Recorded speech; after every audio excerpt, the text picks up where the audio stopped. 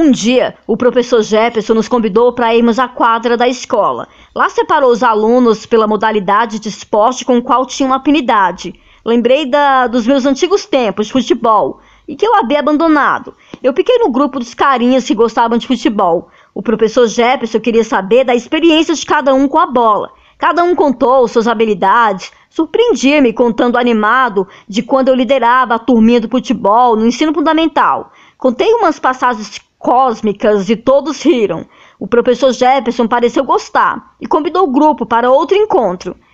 Estou querendo formar um time de futebol para disputar um torneio interséries. Preciso de gente comprometida e com vontade de vencer. Não vai ter espaço para cara que tá bolo nem para mau caráter. Senti que era minha chance. Na verdade, eu nunca fui bom de bola. Daqueles que se destacam em campo, sempre fui muito mediano. Por isso faltei a reunião com o professor Jefferson. Até o nome do professor eu havia esquecido, mas trombei com ele no corredor da escola e me reconheceu e cobrou-me pela ausência. O professor Jefferson era um cara falante, descontraído, daqueles que ouve o nome do aluno uma vez e não esquece mais. Então não tinha jeito.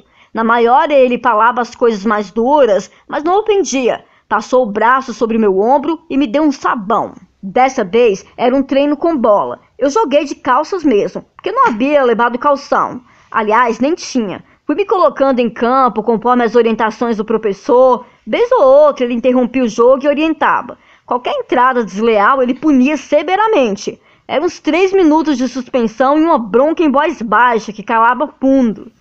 No final, ele quis conversar em particular com cada um.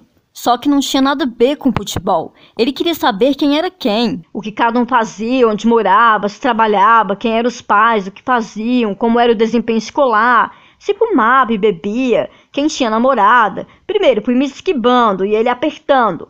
Até que me enchi e falei tudo. Então ele me felicitou por eu ser sincero, disse que precisava de mim, perguntou se podia contar comigo. Dei a ele a minha palavra, sem pensar. Depois me arrependi, mas já era tarde. Na próxima aula, o professor Jefferson chegou com o uniforme completo, meia, calção e camiseta. Assinamos um termo de compromisso sobre o zelo com o uniforme cada um se comprometeu em arrumar um calçado apropriado.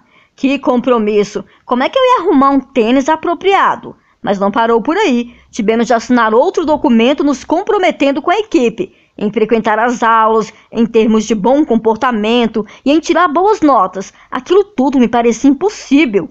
Eu nem caderno tinha. Deixei todos ir embora e chamei o professor e abri o jogo, disposto a devolver o uniforme e romper o contrato. Professor, não vai dar. É demais para mim. Eu não tenho essa disciplina toda. Ele me ouviu atenciosamente, em silêncio. Eu não imaginava que ele pudesse ficar em silêncio daquele jeito, mas ficou. Quando terminei de falar, ele me deu um abraço e disse: Você é um cara de palavra. É de pessoas assim que o mundo precisa. O professor tinha me enrolado novamente. Pediu que no outro dia eu chegasse 15 minutos mais cedo e o encontrasse na secretaria da escola. Amanhã eu nem venho e não coloco mais os pés aqui. Pensei sem falar nada. Fui para casa a pé, dispensei o ônibus, minha cabeça parecia explodir. Eu não sabia lidar com aquilo, jamais dei minha palavra a alguém. Fui direto para o quarto, como sempre acontecia quando alguma coisa me afligia. Abri o uniforme sobre a cômoda e fiquei olhando.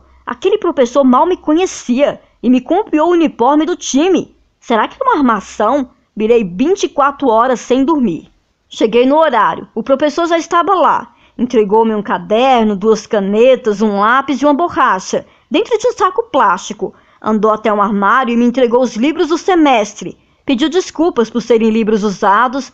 Agradeci-lhe e disse que nunca na vida tive os livros do semestre. Fiquei perplexo. Acho que nem sequer me despedi do professor. Embora usados pela primeira vez, eu teria todos os livros. Fui para a sala de aula e nunca senti tamanha alegria e responsabilidade. Eu não precisaria mais fazer pose de relapso ou displicente. Bom, mas agora eu teria de corresponder. Eu já não sabia mais se isso era bom ou ruim.